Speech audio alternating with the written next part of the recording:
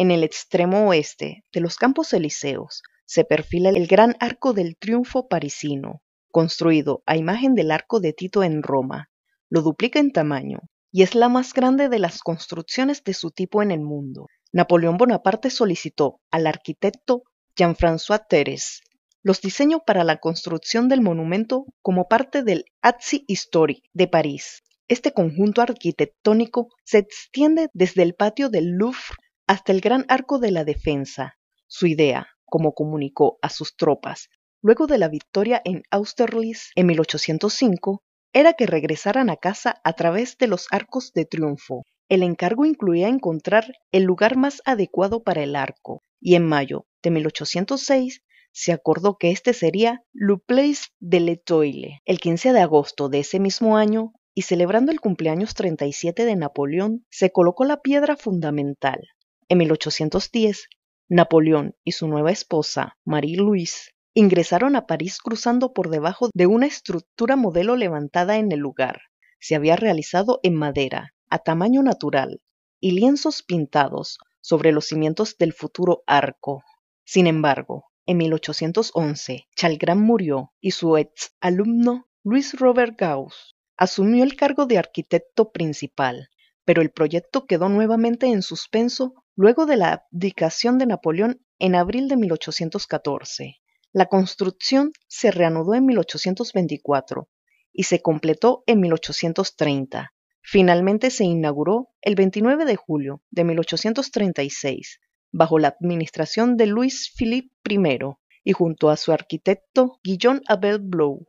La consagración oficial fue el 15 de diciembre de 1840, cuando un carro fúnebre trajo de regreso a París los restos de Napoleón. El 2 de diciembre de 1852, después de su plebiscito, fue el turno de Napoleón III de cruzar la bóveda monumental. Fue imitado en 1855 por la reina Victoria, cuando fue recibida en París por la Exposición Universal. El Arco del Triunfo que mide casi 50 metros de altura, 49.5 para ser exactos, 45 metros de largo y 22 metros de ancho. El costo estimado al finalizar la obra fue de 9.3 millones de francos. El diseño iconográfico se definió después de la Revolución de 1830. En los últimos años se ejecutaron y concretaron los aspectos escultóricos y ornamentales. Los relieves que adornan los cuatro pilares son la Resistencia de 1814 y La Paz de 1815 de Antoine Etetz, El triunfo de Napoleón de 1810 de Jean-Pierre Cortot, que conmemora el Tratado de Schönbrunn, la partida de los voluntarios de 1792, también conocido como la Marcelle, de François Roux. Además, debajo del entablamento podemos ver el funeral de Marceau, la batalla de Aboukir, le Passage du Pont du Arcole y la captura de Alejandría, superando los pequeños arcos, la Bataille du Artelis y la Bataille de Genapés. Los renommés de Pradial habitan los tímpanos del gran arco con armonía y flexibilidad, mientras que l'Infanterie, la Cavalier se integran en los pequeños arcos. En el friso del entablamento, un bajo relieve inmenso, de 15.7 metros de largo, representa la partida y el regreso de los ejércitos franceses. En 1835 se incorporó además en bóveda de casetones romanos la talla de los nombres de 128 batallas libradas durante la Primera República Francesa y el Imperio de Napoleón, así como los nombres de 558 generales están inscritos en las paredes blancas de las bóvedas.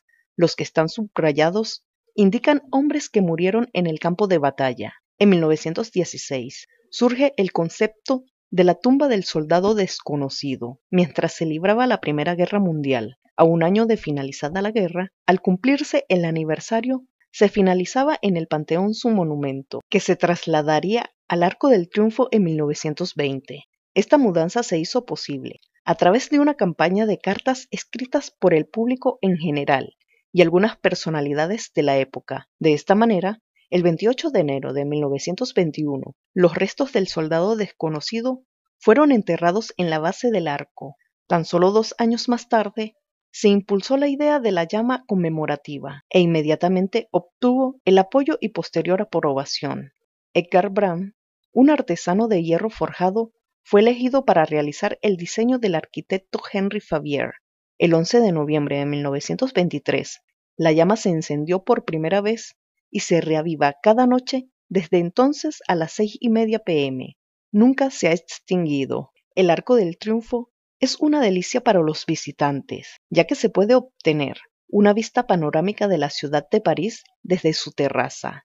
La asombrosa vista incluye monumentos y estructuras populares de la ciudad de París, como el Centro de Pompidou, Notre Dame y el Grand Palais, entre otros.